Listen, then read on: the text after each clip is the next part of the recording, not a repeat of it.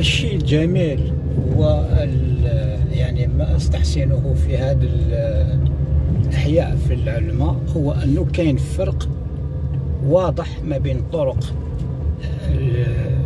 العامة لي ريو باسونت والطرق الداخلية ما بين الأحياء. كاين فرق. التوزيع نتاع السكنات والعمارات كاين فرق. الانسان هنا الطريق العام عريض واسع آه للمرة بصفة عامة. وكاين الطرق الداخليه للسكان في حد ذاتهم. فالطرق هذيك ما تمرش منها هي تعتبر مغلقة. هذا هو يعني التصميم الجيد اللي المفروض يكون. كان إحنا الأحياء أغلبية الأحياء اللي شفتهم العمارات موزعه بطريقة آه، نفس الطريقة في كل الاتجاهات. ما كاش فرق بين طريق داخلي ولا طريق خارجي.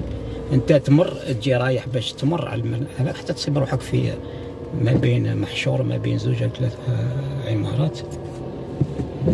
يعني بدون آه، وكاع الطرق هي نفس الحجم عندها نفس الحجم.